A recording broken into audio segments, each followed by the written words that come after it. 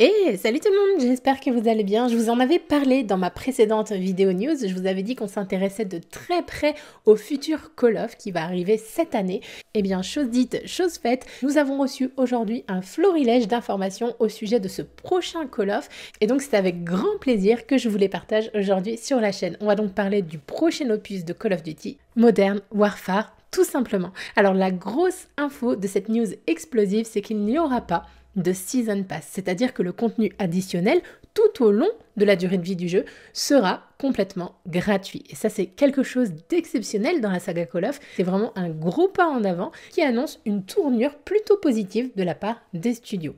Dans une volonté d'unir la communauté également, il y a un système de crossplay qui a été mis en place. Ça, c'est quelque chose de très très positif. Le système de crossplay qui a été instauré permettra donc aux joueurs de jouer entre différentes plateformes, que ce soit PS4, Xbox One et PC. Ensuite, pour continuer, on va couvrir le spectre des différents modes de jeu qui seront disponibles. Pour l'instant, nous en connaissons trois. Le mode multijoueur, la campagne et un mode de coopération inédit.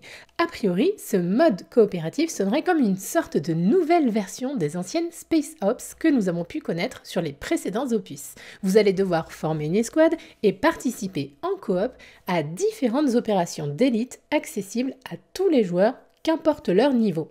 On est toutefois sur un mode coop qui se veut inédit et ouvert à tous, donc affaire à suivre. Ensuite, Infinity Ward revendique fermement une toute nouvelle histoire. Vous avez peut-être déjà vu le trailer et pensé directement au Capitaine Price. En tout cas, c'est une rumeur qui circule également énormément sur les réseaux sociaux. A priori, ce fameux Captain Price signerait son grand retour. Alors d'après les studios, les deux premières missions du jeu ne comporteraient absolument aucun Captain Price. Infinity Ward a cependant confirmé que ce fameux Captain ferait son grand retour, mais beaucoup plus tard dans l'histoire, et il serait même amené à faire équipe avec les deux personnages que nous allons justement rencontrer dans les deux premières missions du jeu.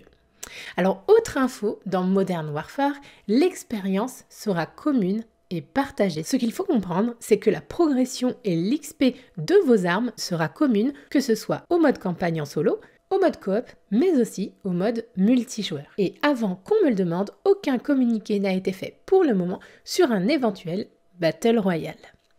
Enfin, la dernière énorme nouveauté de cet opus, c'est le tout nouveau moteur graphique, qui est, d'après les studios toujours, en développement depuis près de 5 ans.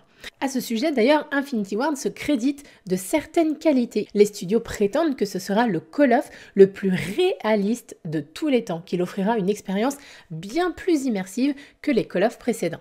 Alors parmi les techniques utilisées, je cite le photoréalisme, la photogrammétrie, un système de rendu PBR, un système de diffusion hybride, de l'éclairage volumétrique, un rendu spectral, de l'identification par rayonnement thermique et infrarouge, et enfin la technologie DirectX Ray Tracing pour les versions PC. Alors rassurez-vous, moi aussi tous ces termes ne me parlent pas. En bref, un ensemble de technologies pointues qui représentent en définitive les toutes dernières avancées en matière d'ingénierie visuelle au service du gaming. Alors pour ce qui en résulte, retenez simplement que la qualité graphique du jeu sera impressionnante, que la vision nocturne dans le jeu sera une toute nouvelle expérience, que le jeu sera d'ailleurs en 4K HDR et que la version PC sera entièrement optimisée. Et enfin, pour la version PC, le jeu a été développé en partenariat avec Binox et sera dispo sur Blizzard Battle.net. Alors côté histoire, avant de finir cette vidéo, vous incarnerez des agents d'élite, des forces spéciales embarquées dans un engrenage haletant. Vous serez au cœur d'un conflit mondial qui menacera l'équilibre du pouvoir actuellement établi. Pour ceux qui souhaitent approfondir plus encore le sens de cette histoire, sachez que les deux premières missions sont d'ores et déjà accessibles via le playtest réalisé par Charlie Intel. Enfin, concernant cette histoire toujours, vous pourrez vivre l'expérience de la campagne selon différents points de vue, à savoir que vous pourrez incarner différents personnages d'origine et de fonctions variées.